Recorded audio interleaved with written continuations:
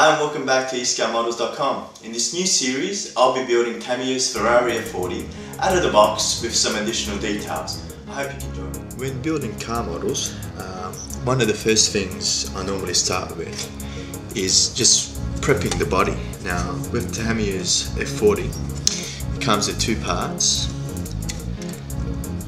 So it's good, it's always good practice to sort of see what the fit looks like just to determine where you know some extra filling of gaps may be required.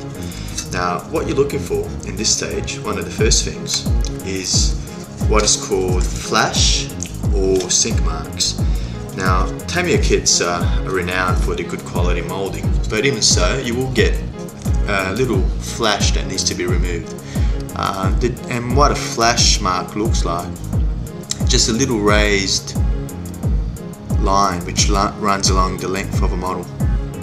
Now, just you can see this with the naked eye. You may just pick it up on camera, but if you run your finger along the surface there, you just see a faint raised line.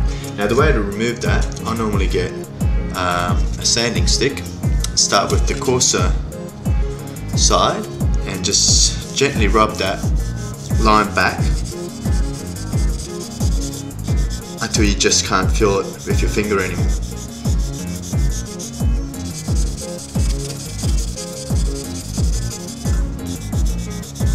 And it takes a few minutes, but the results are definitely worthwhile.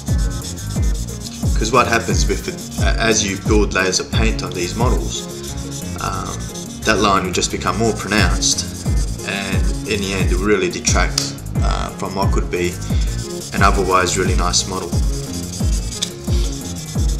So just working my way progressively to the finer grits um, and that line is just about gone now. This kit is actually quite very nice recessed panel lines, they're quite thick uh, to begin with.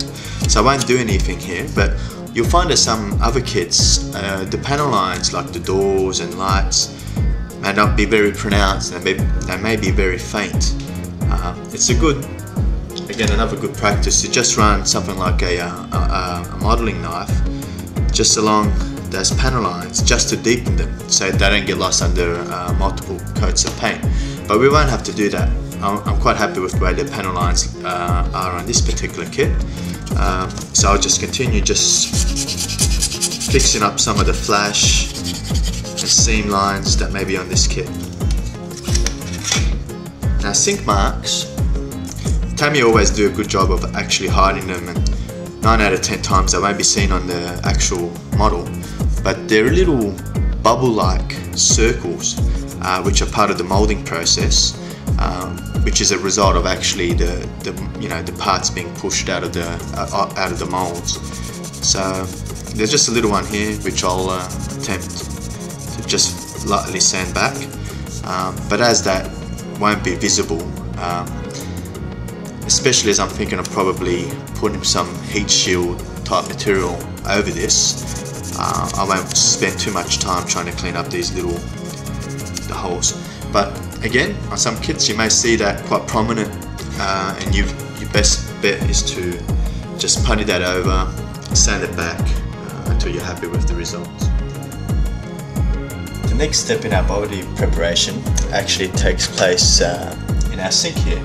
What we want to do is uh, re remove any mold release agents that may be present on the kit. So for that what we want is just some uh, lukewarm tap water with just a drop of detergent, dishwashing detergent uh, just an old toothbrush which won't be used for anything else. And just a little water will do and just gently scrub the body of the kit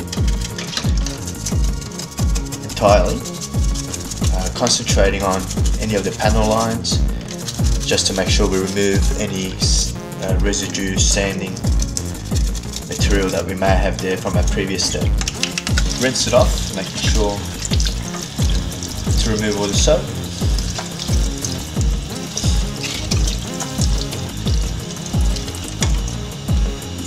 and just leave that aside to air dry and then we can move on to the next step. Model is dry and we're now ready for our next step. Uh, what I use is just an old metal clothesline which I've bent into shape uh, just to hold my model steady while I uh, prime and paint. I normally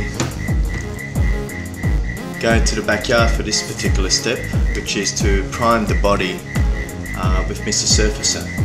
Tonight you may actually be able to hear the wind behind me. It's a pretty breezy night, so I thought I'd uh, have a go. I've got both doors open partially to let some circulation through. Um, what I've done is decanted some Tamiya surface primer, white,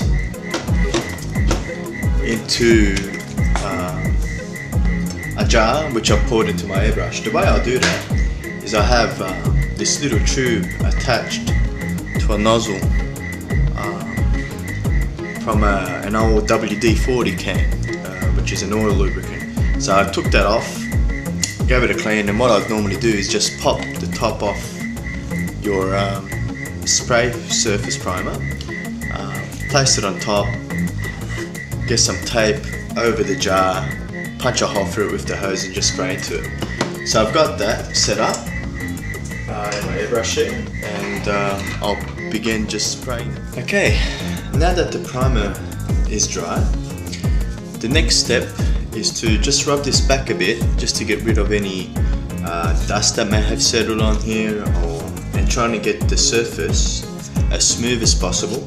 Um, we'd also be looking for any seam lines that we may have missed um, and depending on how we go we may or may not give it another coat of primer. So what I've got here is some 600 grit uh, wet and dry paper. Um, what I'll do just gently rub the primer coat. And you don't want to overdo it, just be very careful over any of the raised edges. So here we go. Uh, now that's sanded back quite smoothly. Uh, you'll notice that I've actually sanded through some high edges here where I found um, a few lines of uh, flash and some mold lines that I um, that I missed sanding prior to priming. That's all okay. Uh, you expect to see that after your first coat of primer. So what will happen now, I'll let that sit there and just dry off. Um, then we'll follow it up with one or two more coats of primer. Uh, just make sure that we've removed any blemish uh, and we'll be ready for our first coat of the base coat. Now, the reason we're doing this in my backyard is that we're trialling eScale Models own line of paints, which is uh, Ferrari's Rosso Corsa. Uh, it's a two-pack paint, so I want as much ventilation as I can whilst I'm wearing my mask.